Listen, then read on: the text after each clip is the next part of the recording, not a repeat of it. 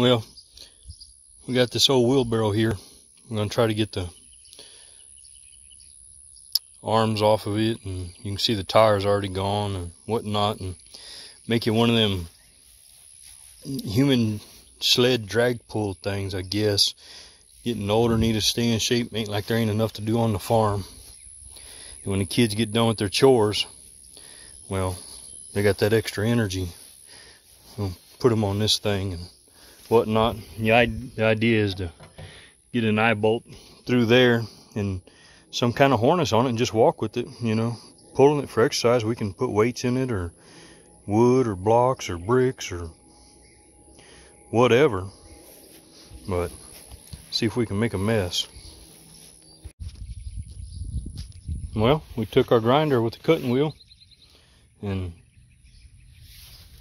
cut all that off, cut all the bolts off. They were rusted. There was no no spinning them didn't want to try to bend them because I didn't want to waller out them holes no bigger than what they are. I don't know if too much dirt starts getting in there, we may we may try to weld them shut and maybe even weld a 2x4 on the bottom of it for it to glide on so it doesn't rust anymore. Or bolt, I don't know if I said weld a 2x4, but bolt a wooden 2x4. Like I said, we can just try to fill that in with a weld. But anyways, eh, and pieces seen better days, but that's still pretty decent. Well, we got to lean it up here, and it wasn't real hard to, you know, where you gonna put this bad boy at? You know, drill it in here somewhere. What? How do you know where center is? Well, it ain't real hard. You got two holes right there. You just gotta get the old measure tape out and measure in between them. We had eight and a half, so we made a made a mark at four and a quarter. And now we just gotta, you know, make our mind up. We want to drill it right here. We want to go up or down a little bit. And I think we're gonna just put it right there in between them somewhere.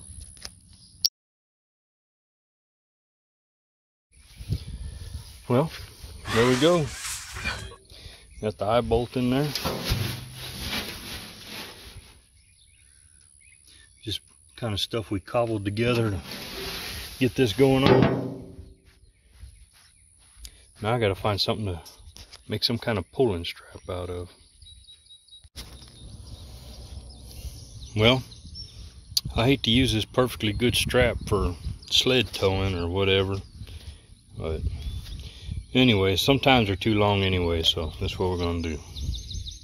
So I'm gonna have to take that fold it over because then you're gonna tie a knot or something over here so you're gonna need that. So let's fold it over again to where it's about the same because you're gonna have to tie a knot or a loop on the other end put around your shoulders or the pull or whatever. And then we just got to figure out how much to go forward and back.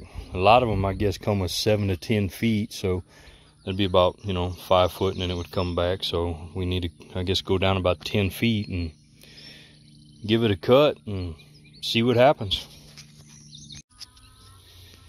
Well, here you go. We got a couple loops tied in there.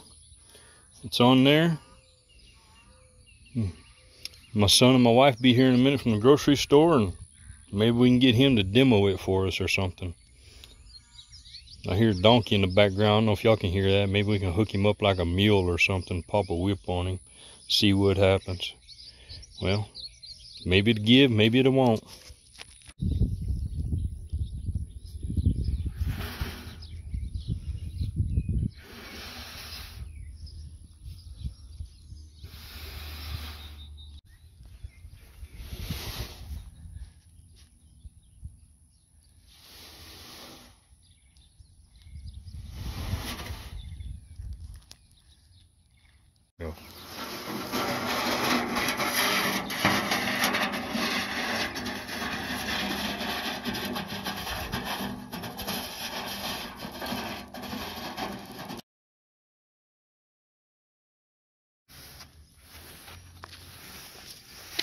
some.